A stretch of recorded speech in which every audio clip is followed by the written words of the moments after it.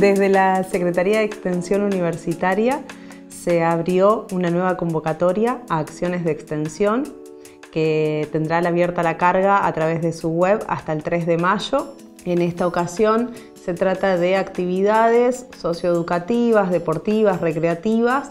Se van a estar financiando hasta 40 acciones de extensión, estas repartidas entre las nueve unidades académicas y cuatro destinadas para rectorado y casa UNER.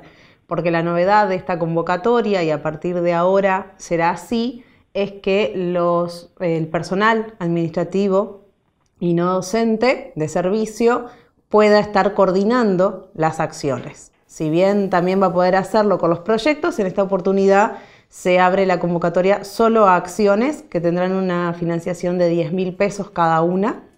La carga se hace a través de la web de extensión, en extensión Unereduar, ingresando con un usuario y contraseña y como dije antes, hasta el 3 de mayo tienen la posibilidad de estar presentándose. Estas acciones después van a pasar por el Consejo de Extensión, recibiendo el aval y aquellas que estén aprobadas son las que se van a empezar a desarrollar a partir de eh, agosto, julio, finales de julio, agosto de este año 2019.